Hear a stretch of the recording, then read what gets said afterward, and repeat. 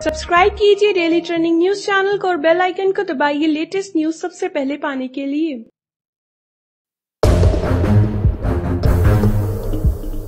राहुल गांधी के वादे के अनुसार मध्य प्रदेश और छत्तीसगढ़ के बाद अब राजस्थान के मुख्यमंत्री अशोक गहलोत किसानों को कर्ज माफ़ी का तोहफा देने के लिए गुणा भाग कर रहे हैं। राजस्थान के करीब उनसठ लाख किसानों पर निन्यानवे हज़ार करोड़ रुपए का बैंकों का कर्ज है।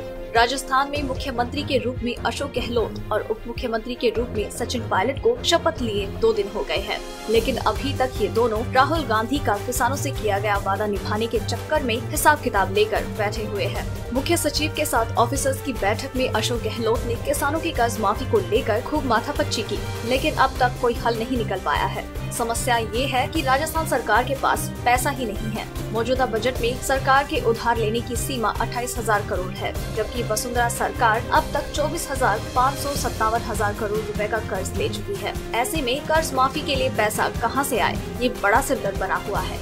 इतनी सारी परेशानियों के बाद आपको क्या लगता है कि क्या राजस्थान सरकार किसानों का कर्ज माफ़ कर पाएगी या नहीं? नीचे हमें कमेंट बॉक्स में ज़रूर बताइएगा। और अगर आपको स्टोरी पसंद आई तो इसे लाइक और शेयर करना मत भूलिएगा। डेली ट्रेंडिंग न्यूज़ की रिपोर्ट सब्सक्राइब करें हमारा चैनल ऐसी ही लेटेस्ट और इंटरेस्टिंग न्यूज़ के लिए।